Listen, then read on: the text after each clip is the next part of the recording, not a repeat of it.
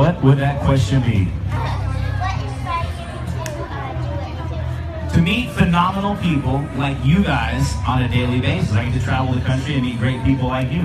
Now, I have a question for you guys. What inspired you to do what you do?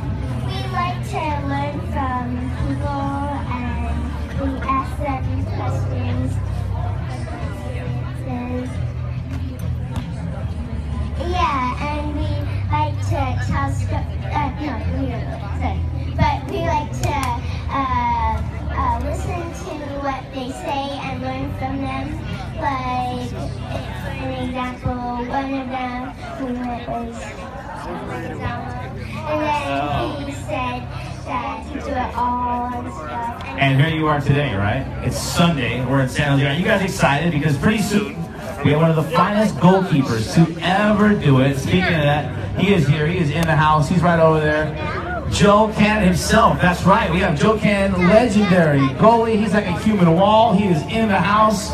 We're going to talk to him about a little MLS action. He's getting ready to sign some autographs. Come on by. Say hello to some MLS royalty right here.